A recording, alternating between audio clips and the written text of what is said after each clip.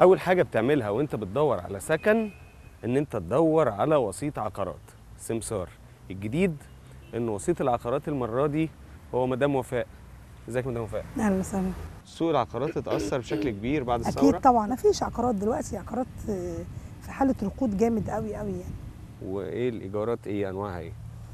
آه، إحنا عندنا الإيجارات طبعا بتبدأ آه، حسب حسب مستوى الشقة أو حسب المستوى التكاليف. يعني عندنا منخفض التكاليف عندنا مستوى متوسط. الايجارات بتبدأ من 500 من 500 جنيه. ده اللي هو إيه إيجار ده جديد؟ المنخفض ده المنخفض. آه آه. ما فيش حاجة اسمها إيجار قديم عندنا. خلاص. كله هنا إيجار جديد. و... ومدته محدودة سنتين مثلا ما بيزيدش عن كده. وبالنسبة للتمليك بقى؟ آه، لا هو التمليك طبعا غالي مش مش رخيص يعني. يعني آه، عندنا الأسعار بتبدأ مثلا آه، من 100000 دي دي المنخفض المسكن يعني. الشعبية اللي بيقولوا عليها آه. الاستسكان الشعبي يعني لكن عندك في عماير البنك طبعا بتبدأ من 200 250 ألف جنيه.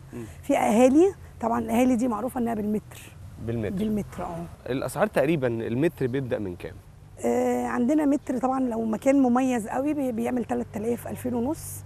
لو آه، مكان آه، يعني شعبي شوية بيعمل 1000 1100 ما بيزيدش عن كده يعني. 1100 جنيه للمتر. أكتر ناس بيجوا يأجروا منك ال- الشقق اللي هي آه، إيجار جديد.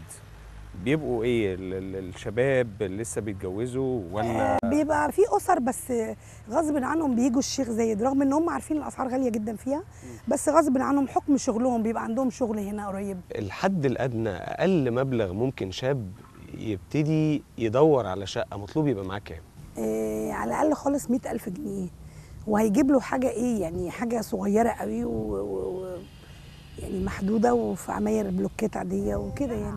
الأسعار هنا إيه- بس هنا اللي غالية ولا في مصر كلها أسعار العقارات؟ لا والله الأسعار بقت كلها في, كل الأماكن غالية يعني متهيألي مفيش مفيش حاجة بقت رخيصة يعني حتى رغم إن في ركود في حالة العقارات بس العقارات ما بتنزلش. يعني في يعني مفيش مفيش مفيش بيع ومفيش إيجارات و...